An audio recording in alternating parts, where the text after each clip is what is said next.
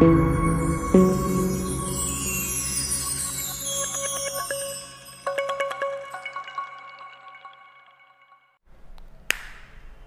method of writing the set, it is a rule method or set builder form. The second method of writing the set is rule method or set builder form. हा जो word आहे rule हाच generally आपल्याला सर्व त्या मेथडचा जो meaning आहे आता एक एक्झाम्पल घेतल्यानंतर आणखीन ते तुम्हाला चांगल्या पद्धतीनं लक्षात येऊ शकेल. So we will take one more example and we will discuss about this rule method or set builder for will take an example here for example B is equal to in to the curly bracket five ten fifteen twenty 25 curly bracket close. Write the set. Write given set by a rule method write the given set by using the rule method we have given a set we have a set that is b is equals to into the curly bracket 5 comma 10 comma 15 comma 20 comma 25 and we have to write this set using the rule method. So we have to observe the numbers which are given in this set carefully. And then we have to decide which rule is used to write these numbers. According to which rule these numbers are written? According to which rule these numbers are written. That we have to decide that we have to determine. So we have to observe all these numbers carefully and then we have to write the set by using rule method or the set builder form. And we can easily get that 5 10 15 20 25 all these numbers are the multiples of 5 all these numbers are the multiples of 5 so we have to write that set by using rule method. So how you can write? See here we cannot change the name of the set whatever the name is given here you have to use the same name. Whatever the name of the set is given here we have to use the same name. We cannot change the name of that set so we write b here is equal to into the curly bracket. Now it is very important thing. We have to consider that all these numbers are x we have to use a letter for all these numbers you, you can use any letter from a to z for all these elements we have to represent a variable we have to represent a variable for all these elements मग ते numbers असतील किंवा आणखीन वेगळे कुठले colours असतील किंवा आणखीन काही असेल किंवा आणखीन वेगळे कुठले घटक त्याच्यामध्ये असतील we have to use a variable for representing the members or the letters whatever given are there in the set.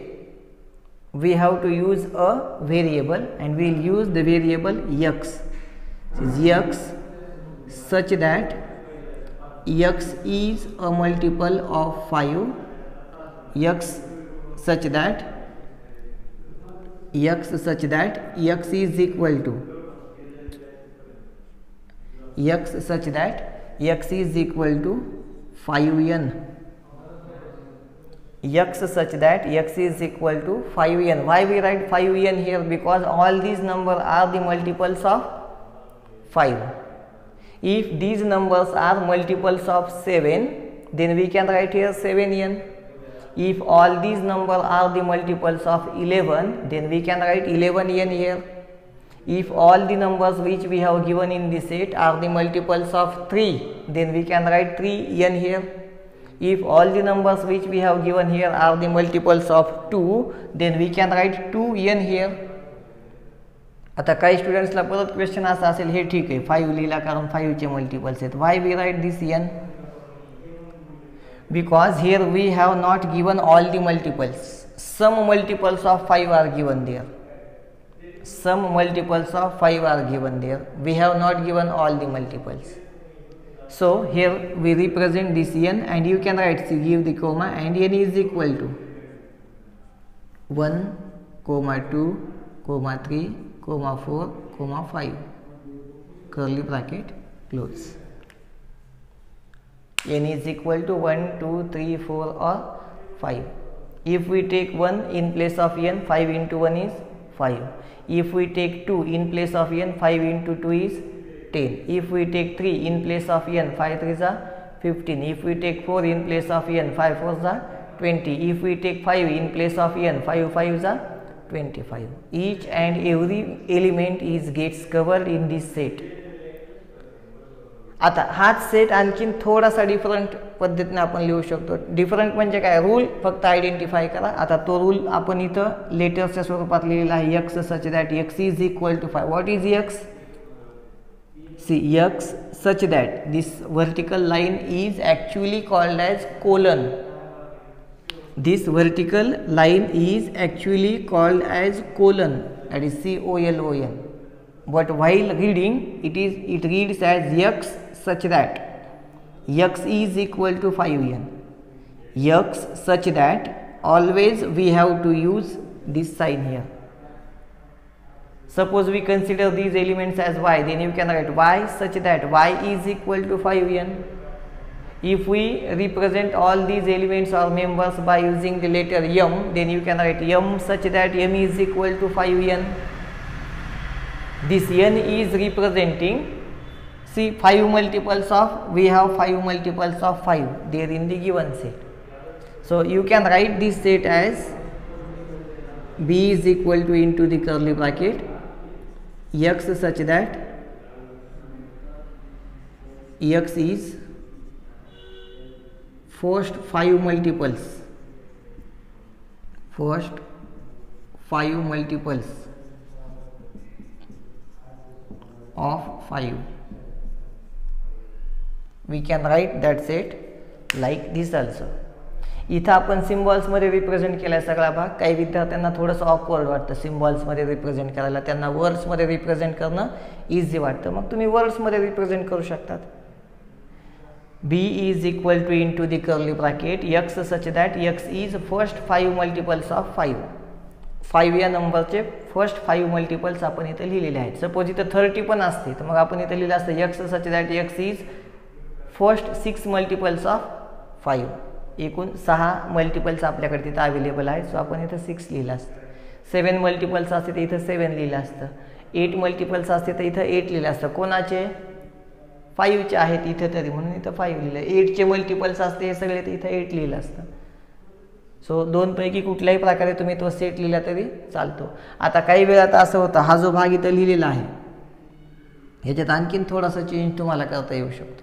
आता इथे डायरेक्टली मी काय केलं n is equal to one two three four five आता एक जनरली आणखीन हाच set तुम्ही हाच भाग थोडासा डिफरंट आणखीन x such that x is equal to five n here small n belongs to हा एक भाग आपला डिस्कस करायचा राहिलेला होता.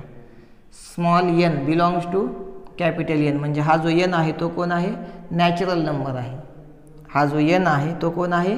नॅचरल नंबर आहे. एन बिलॉंग्स टू एन हा जो इथं सिम्बॉल आपण ड्रॉ केलेला आहे. हा सिम्बॉल आहे एलिमेंट ऑफ किंवा बिलॉंग्स टू आता एक तुम्हाला जनरली सेपरेट एक कारण या लेसनमध्ये खूप सारे नवनवीन सिम्बॉल्स आपल्याला अभ्यासायला मिळतात. मग त्यांची एक सेपरेट आपल्याला यादी बनवावी लागेल. त्या यादीमध्ये हा पहिला सिम्बॉल असेल. हा जो सिम्बॉल आहे एक थोडक्यात हा ई असाच आहे. आणि याला रीड करत असताना एलिमेंट ऑफ असं रीड केलं जातं. Element of this e belongs to element of n is the element of capital N. Small n is the element of capital N and we know that capital N is natural number.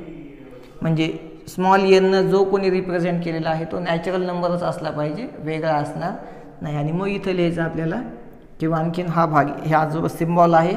एक तर याला element of असं म्हणा किंवा belongs to.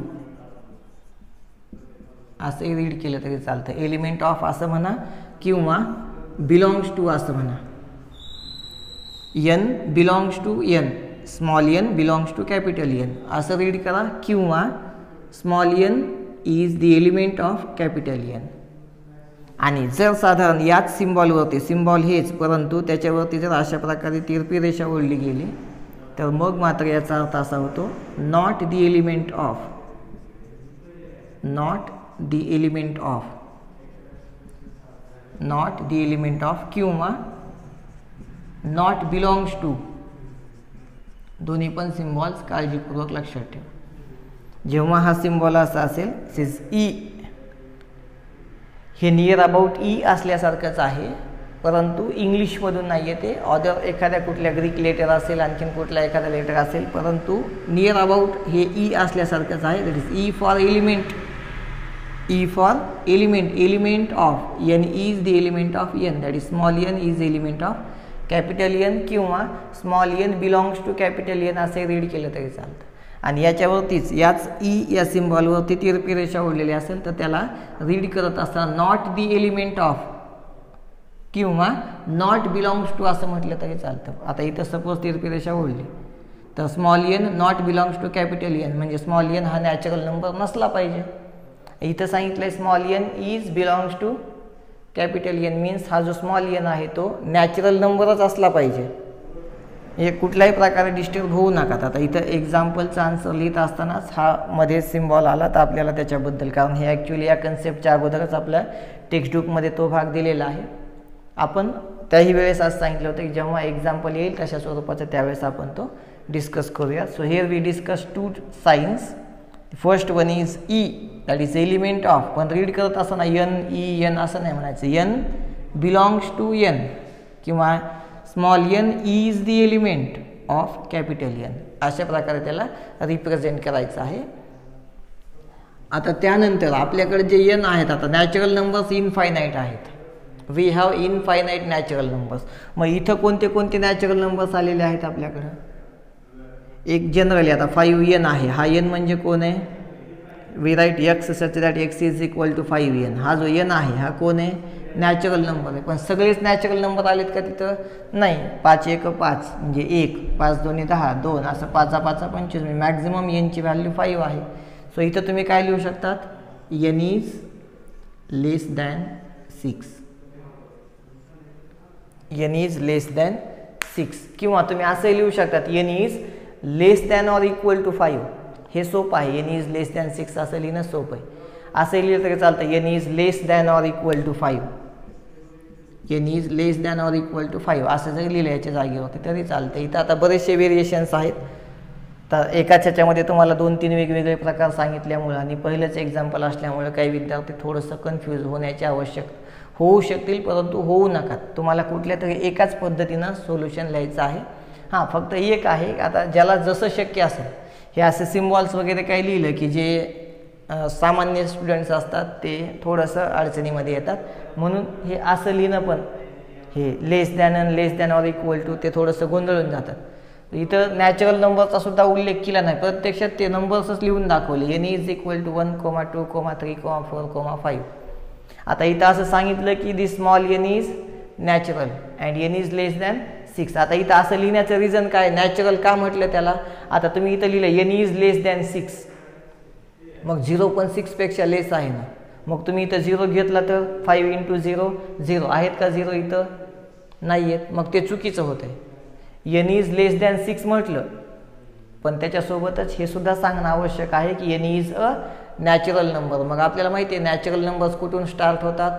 वनपासून so या यांच्या जागेवरती एक तर वन असू शकतो टू थ्री फोर किंवा फाईव्ह पण सिक्स नाही असू शकत. It is less than six n is less than six इथं लिहिलं n is less than or equal to less असला तरी चालतो इक्वल असला तरी चालतो. ह्या दोनपैकी कुठला पण एक भाग किंवा हा एक. म्हणजे तुमच्याकडे इथंच जवळपास हे दोन्ही सोल्युशन्स एकसारखेच आहेत.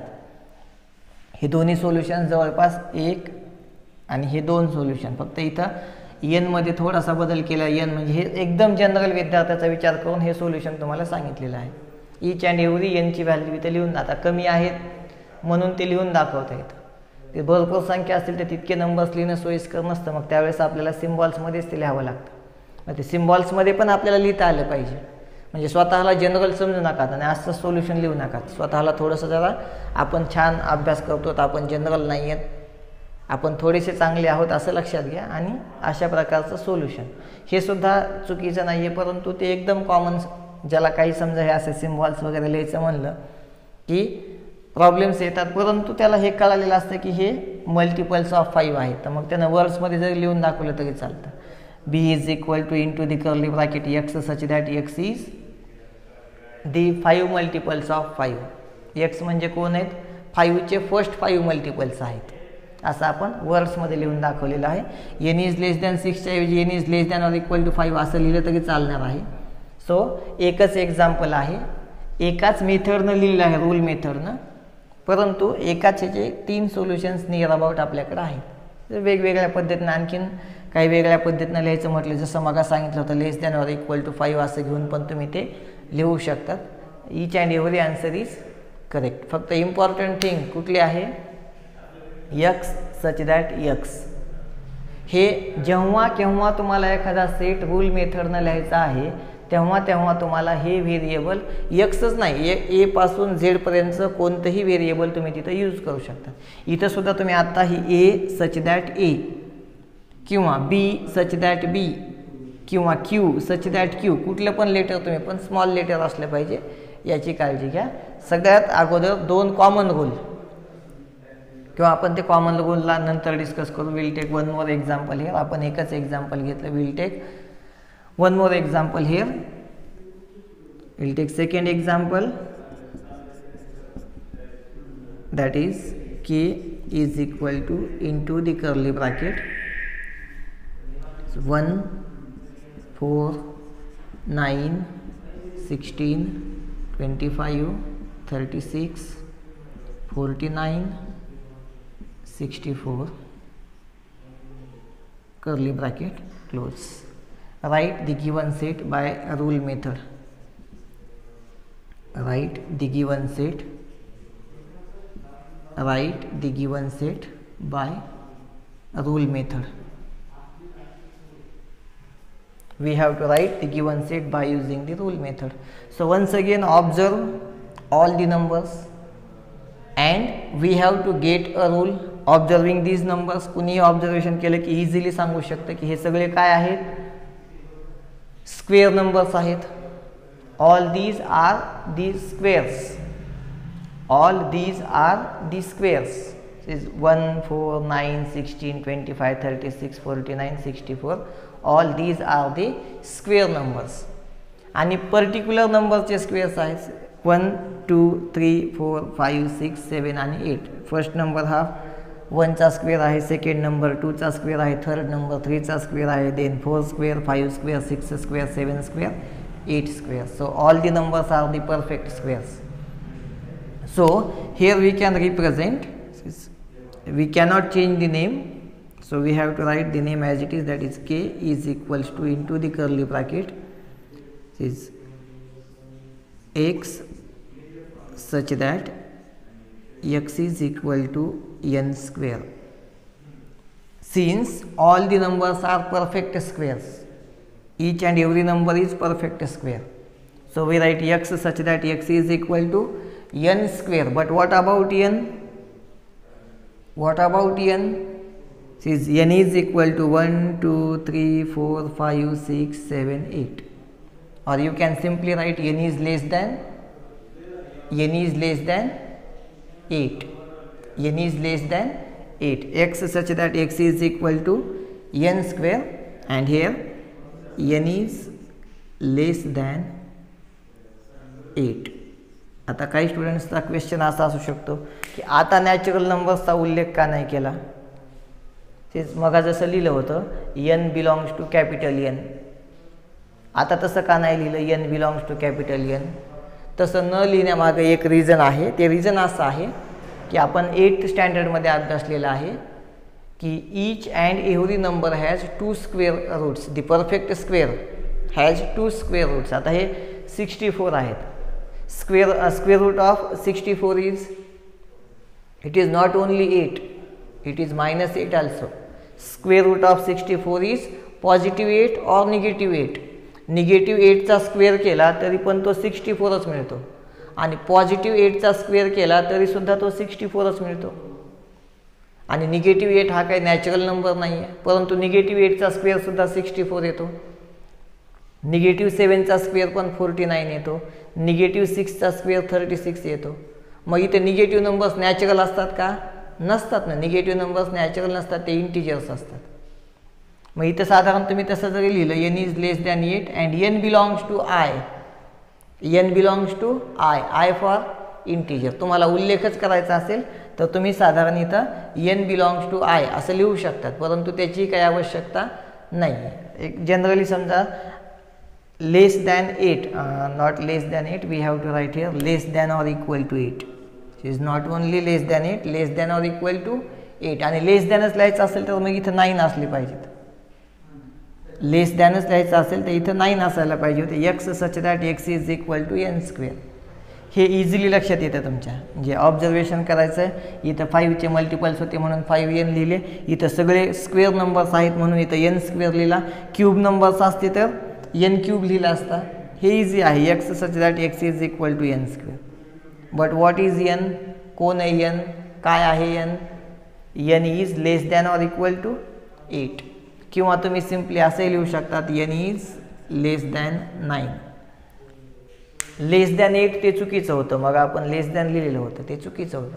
Less than less than eight म्हटलं की मग हे सिक्स्टी फोर तिथं येऊ शकत नाही. रॉंग आन्सर होते. Less than or equal to eight आणि लेस दॅनच लिहायचं असेल फक्त तर मग इथं line nine less than nine नाईनपेक्षा less असणारे जे नंबर्स आहेत त्यांचे स्क्वेअर्स इथं दिलेले आहेत. मग नाईनपेक्षा लेस असणारे फक्त नॅचरल नाही त्याच्यात इंटिजर पण आले. आता तुम्ही जर इथं असं लिहिलं समजा एन बिलॉंग्स टू आय तर मग नॅचरल नंबर्स त्याच्यात येणार नाहीत. एन बिलॉंग्स टू एन लिहिलं तर इंटिजर्स येणार नाहीत. म्हणून इथं एनचा उल्लेख केलेला नाही आणि आय इंटिजर्सचा सुद्धा उल्लेख केला नाही. इंटिजर्सचा उल्लेख केला तर मग स्वाभाविकच नॅचरल नाहीत असं म्हणावं लागेल. नॅचरलचा उल्लेख केला तर इंटिजर्स नाहीत असं म्हणावं लागेल. आणि इथं तर नॅचरल आणि इंटिजर दोघांचाही इन्क्लूड आहे त्याच्यामध्ये. So our answer is K is equal to into the curly bracket x such that x is equal to n square where n is less than or equal to eight will take one more example आता सगळे numbers आपण फक्त नंबर्सचेच घ्यावेत असं काही नाही आहे पण एक जनरली मॅक्झिमम एक्झाम्पल्स किंवा आणखीन एखादंही आपण एक्झाम्पल घेतलं तर फक्त काय होणार आहे? नंबर्सच असणार आहेत परंतु त्याच्यामध्ये इथं परफेक्ट स्क्वेअर्स होते त्याच्यात परफेक्ट क्यूब असतील इथं फाईव्हचे मल्टिपल होते तिथं सेवनचे मल्टिपल असतील. किंवा आणखीन काही वेगळा भाग असेल आपण एक एक्झाम्पल आणखीन घेऊ. नंबर्सशी संबंधित आहे ते सुद्धा याच्यामधून काय होईल की नंबर्सच्या संबंधित जे काही कन्सेप्ट्स आपण आत्तापर्यंत अभ्यासलेले आहेत ते रिवाईज होतील ते रिकॉल होतील. नसतील तर बऱ्याचशा विद्यार्थ्यांना तर ऑलरेडी माहिती असतात. माहीत नसतील तर ते आता रिवाईज होत आहेत. Right here D is equal to into the curly bracket two three five seven D is equal to two comma three comma five comma seven into the curly bracket 2 comma 3 comma 5 comma 7 so you can easily observe that all these are the prime numbers less than 10 these are the prime numbers less than 10 इथं जे आपल्याकडे numbers available आहेत two three five seven हे सगळे prime numbers आहेत आणि हे सर्व लेस दॅन टेन आहेत लेस दॅन एट म्हटलं तरी चालतं लेस दॅन टेनच म्हणावं असं काय लेस दॅन एट म्हणा लेस दॅन नाईन म्हटलं तरी हीच यादी आहे लेस दॅन टेन म्हटलं तरी सुद्धा हीच यादी so here we can write first the name of the set that is D is equals to into the curly bracket x such that x is prime number x such that x is prime number less than ten म्हणा किंवा nine म्हणा किंवा eight म्हणा आणि curly bracket close करा. हे एकदम simple answer झालं. X such that x is a prime number less than ten दहापेक्षा लहान असणारे सर्व प्राईम नंबर्स इथं लिहिलेले आहेत. सो आणखीन वेगळ्या पद्धतीनं तुम्हाला आन्सर लिहायचं असेल तर ते असं असू शकतं. D is equals to into the curly bracket x such that x such that x is equal to prime number. X such that x is prime number समजा नुसतं इज जरी लिहिलं इथं इक्वल टू लिहिण्याऐवजी x such that x is prime number आणि आता less than ten तुम्ही असंही लिहू शकता. काहीच नाही. एकदम सोल्युशन सेम आहे. फक्त इथं लेस दॅन हे आपण वर्ड्समध्ये लिहिलं इथं. लेस दॅन टेन हे आपण सिम्बॉलिकली रिप्रेझेंट केलं. वेगळं सोल्युशन म्हणताच येत नाही त्याला पण काही स्टुडंट्स सिम्बॉल यूज करतात काही स्टुडंट्स वर्ड्समध्ये लिहितात दोन्हीही भाग योग्यच आहेत. So this is all about the rule method or set builder for Here we discuss in this lesson set. First we discuss the definition or we take the introduction of the set. Then we discuss the two methods of writing the set. First one is listing method or the roster form and second one is rule method or set builder form. We discuss both the methods in detail here. And now after this we have practice set 1.1. After this we have practice set 1.1 and we have to solve the examples from the practice set 1.1. Before that uh, one more thing we have to discuss here that is set of the natural number is represented by capital N. Since natural numbers the spelling of natural number started with N so natural numbers are represented and the set of the natural number is represented by N that is capital N. Then set of the whole number is represented by w. Set of the integers is represented by i then set of the rational numbers is represented by q. That is very important. Rational numbers म्हटलं की काही students आरने सुरुवात होते. मग आपण आरने represent करू. आरने रियल नंबरचा सेट रिप्रेझेंट केला जातो. कॅपिटल आर या लेटरनं रियल नंबरचा सेट रिप्रेझेंट केला जातो नॉट रॅशनल मग रॅशनलसाठी इथं डिफरंट लेटर घेतले. दॅट इज क्यू नॅचरल सोप आहे एन होल सोप आहे डब्ल्यू इंटिजर सोप आहे आय पण रॅशनल म्हटलं की आर नाही. R for real that is not for rational R for real numbers आपण सिरियली घेतो नॅचरल होल इंटिजर रॅशनल आता irrational set of the irrational number is represented by Q dash rational irrational रॅशनलसाठी Q तर मग इरॅशनलसाठी Q dash त्याच्या डोक्यावरती छोटीशी रेषा इथे द्यायची आहे. रॅशनल नंबर्स क्यूने आणि इरॅशनल नंबर्स क्यू डॅशने रिप्रेझेंट केले जातात. आणि फायनली आहे R that is for real numbers R for the real numbers natural नंबर्सचा set capital एनने होल नंबरचा कॅपिटल डब्ल्यूने इंटेजर्सचा कॅपिटल आयने त्यानंतर रॅशनल नंबर्सचा क्यूने इरॅशनल नंबर्स क्यू डॅश आणि रियल नंबर्स आर आणि हे पण तुम्हाला सांगितलं की सी बी एस ई बोर्डमध्ये इंटिजर्सचा जो सेट आहे तो झेडने रिप्रेझेंट केला जातो. त्याचं रिझन असं आहे की हे जे इंटिजर्स आहेत त्यांना एका अदर लँग्वेजमध्ये झायलेन असं म्हणतात. इन अदर लँग्वेज इंटिजर्स इंग्लिशमध्ये इंटिजर्स झालं. परंतु ग्रीक किंवा आणखीन कुठली एखादी लॅटिन भाषा आपण घेतली तर आता एक्झॅक्टली कुठली भाषा ते मी निश्चित नाही सांगू शकत पण झायलेन असा त्याचा एक प्रोनाऊन्सिएशन केला जातो. मे बी तो लॅटिन असेल किंवा ग्रीक असेल पण त्याची सुरुवात झेडने होते. म्हणून सी बी एस सीचे स्टुडंट्स त्याला झेडने रिप्रेझेंट करतात. आणि आपण मात्र स्टेट बोर्डमध्ये त्याला आयने रिप्रेझेंट करतो. हे आपल्याला माहिती असं नाही तर कोणाचं तुम्ही सी बी एस सीचं टेक्स्टबुक बघितलं आणि त्याच्यात असं लिहिलं की एन बिलॉंग्स टू झेड तर तुम्ही अडचणीत येताल की हे झेड काय आहे? आम्हाला एन माहिती आहे डब्ल्यू माहिती आहे I Q Q dash R सगळं माहिती आहे पण हे झेडमध्येच कुठून आलं? तर Z for Zahlen and the meaning of this hyaline is not but it is integers. So, we will discuss uh, that uh, remaining concept here. So, this is all about the concepts before the practice set 1.1. Now, we will solve the examples from practice set 1.1 into the next video. Thank you.